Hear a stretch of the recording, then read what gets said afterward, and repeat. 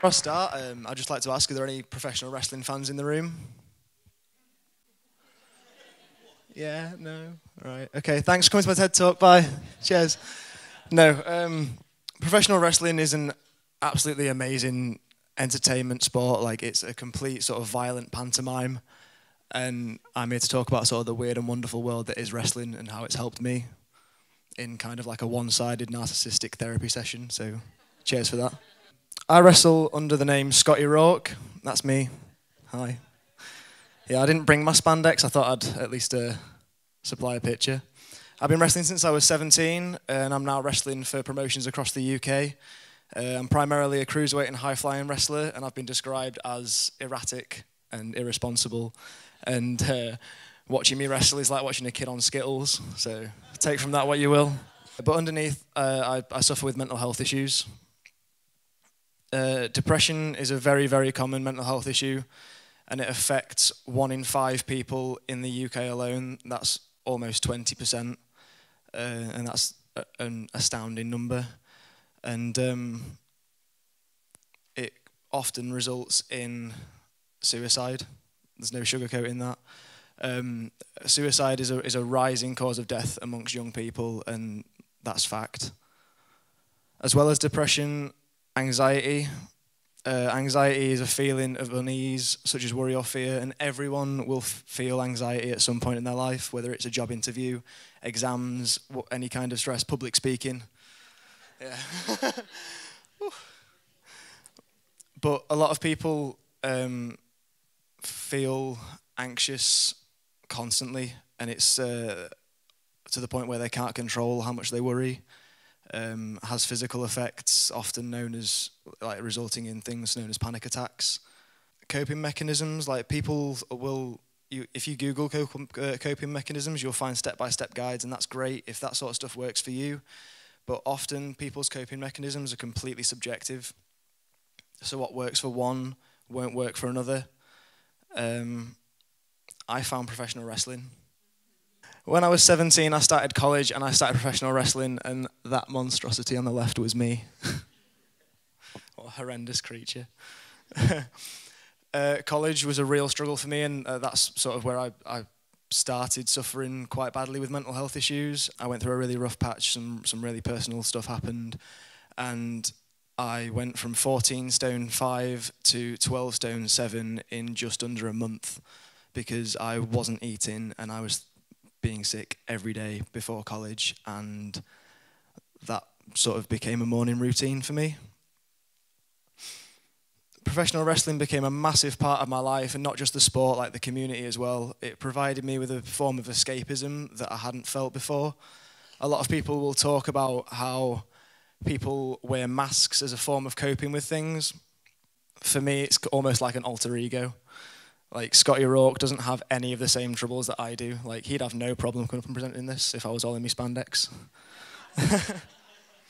From the minute you step out the curtain, it's almost a different mindset. You go into a different headspace. And a friend of mine said to me, "It's nice to see you smile like that. It's like I could literally see a weight being lifted from you." And I've never been able to sum it up quite as much as that before. I fell out of love with wrestling when the promotion that I started with back home in Grimsby sort of collapsed. And it was a similar time that I moved to university. So, on top of already established mental health issues, I had the upheaval of moving to the other side of the country from Grimsby to Liverpool. So, literally like East Coast to West Coast. That's not a good rap song. and I quickly began to feel isolated because I didn't have many friends out there. I was the only one from Grimsby that went to Liverpool. And turned to sort of drinking with my uni friends, and that was fine for a little while. And obviously, I didn't have the the release or escapism that I had with professional wrestling because it had almost deceased when I was back home. My drinking started off as social, as I said, with sort of the lifestyle of freshers, but it got out of hand. From September to December, I lost even more weight, going from 11.6 to 10 stone 4. I remember getting home for the Christmas period, and my mum gave me a big hug and she turned to me and she was like, You've lost a stone. And I went upstairs and I checked and, and I'd lost a stone. it was ridiculous. I wouldn't tell my friends sort of how excessively I was drinking, I simply said that I wasn't eating very well because that's, you know, you're poor at uni. But it had become apparent that I, I was drinking to the point where I gave myself a stomach ulcer. Um, and I sank further into a depressive state and began having intrusive thoughts of suicide. I was contemplating it daily, and that was a really sort of dark period of my life. It, yeah, it, it, it was difficult. Like, there's no way around that at all.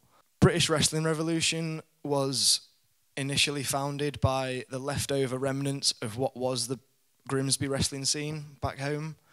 And a close friend of mine said to me in a more explicit, uh, explicit way that if I wanted to be a part of BWR, then I needed to sort myself out. I needed to have the right headspace, and I couldn't be sort of abusing my body in the way that I was abusing it. This is when wrestling kind of took over again and became a huge part of my life. And I've been very hands-on with the company. Like I've helped my friends build the company up from scratch. Whether it's we've we've renovated a new venue that's like capacity is about 600 people, because like it's mad to think the Grimsby wrestling scene's booming because nothing else in Grimsby is. the wrestling community is so unique in so many ways. Like, as I said, where else do you get to beat up your best mate and not get told off for it? There are people in my life that have supported me through such dark times, and I'm so grateful for that. Some of them are sat up there. my tag team partner Cole, Jenny, and Adam, who was the one that had a word with me before. And like, if it wasn't for them being here, I don't think I'd be able to do this today either. Um, they're always by my side. We're almost inseparable. Some would say too close. Professional wrestling is, I would say, one of the only true team sports because the things that we do in the ring and the stunts that we perform You've got to trust who you're on with. You've got to trust who you're in the ring with 100%. I'm not going to let any Joe just smack me in the face. So, trust is a massive thing. If someone's got you over their head and they're about to drop you, you're going to trust that person not to hurt you. but without some of the friends, as I say, I've made through wrestling, I don't think I'd be here. Uh, the pictures up there are uh, a few of the friends that have been by my side the entire time. They're at uh, WrestleMania parties where we've got to dress up at the pub that I work in, um, and they're really fun. Wrestling's really fun. Not only has professional wrestling provided me with a safe and healthy outlet, constant emotional support, both emotionally and mentally, from my closest friends and family, it's also pushed me physically, like, you know, healthy body, healthy mind, and all that jazz. It sounds really cliche, but it was said earlier about working out, sort of clearing your head and, and, and building the mind. So to be on top physical form is, is a big part of it. Like I need to be sort of the best I can be and it's constantly pushing my limits. Like if it wasn't for wrestling, I wouldn't be delivering this talk today. Um, I was found on Twitter by someone that worked for joe.co.uk and I, I uh, was interviewed over DM because um, he was doing a segment called How Wrestling Saved My Life um, and I thought that was really interesting. And I really needed to get behind it, and I didn't expect it to go any further. Like it was a case of, I thought it may be someone's like school project or like college, you know, college thing, but it got three million views. and that and that was like in the new year. So this is all very new to me. You'll have to bear with. but from that, like from stemmed just from that alone, I'm I'm here today. I'm I'm delivering my first TED talk, and I think that's massive. I'm working with BBC Radio 1 and they're putting together a three part documentary podcast about myself, professional wrestling, and mental health because it's such a massive forefront at the minute. I still think it's a little bit taboo to talk about it. So it's, it's all about breaking those boundaries and being honest. And I couldn't wear my heart on my sleeve any more than I do. The signs of depression, they're very noticeable. Some of them are more noticeable than others. I've already touched on uh, the rapid weight fluctuation, but you know we'll leave Fat Connor in the past. But what I'm trying to say more than anything is it's okay to not be okay. Like I'm not okay, and that's okay. Have I said okay enough?